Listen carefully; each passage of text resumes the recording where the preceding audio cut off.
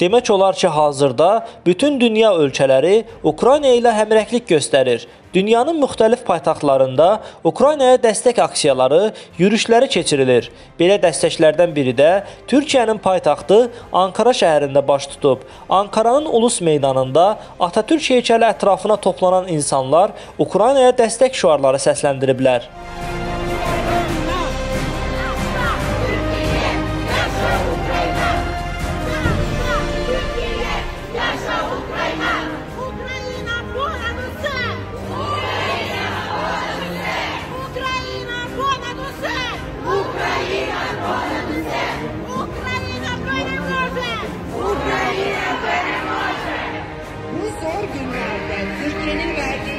Destek bizim için çok değerli.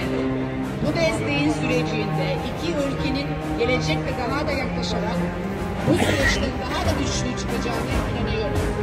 Lütfen ailemizi, yuvamız, vatanımızı savunurken uğradığımız haksızlıklara karşı dur diye haykırın.